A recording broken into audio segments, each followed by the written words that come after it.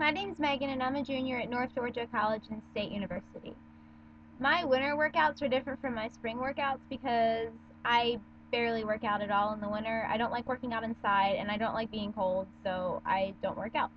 But I absolutely love running when it's not 20 degrees out. So this spring I'm going to try to get back into running more. Um, I used to be able to run for 15, 20 miles without stopping, but my goal is to be able to run 10 miles without stopping by the end of this spring. And I'm going to do that by trying to run at least a little bit every day and build myself back up to where I used to be. Um, my motivation, I tell myself, okay, I'm going to run for 10 minutes, and if I'm miserable, I'll just stop, but if I feel good, I'll keep going.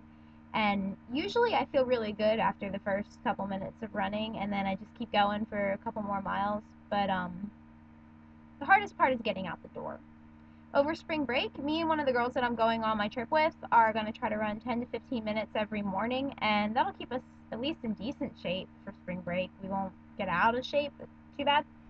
Um, also, I'm going to try to do my reading and studying while walking on the treadmill, and I'm going to park as far away as possible from my classes so that I have to walk faster and farther to get there on time.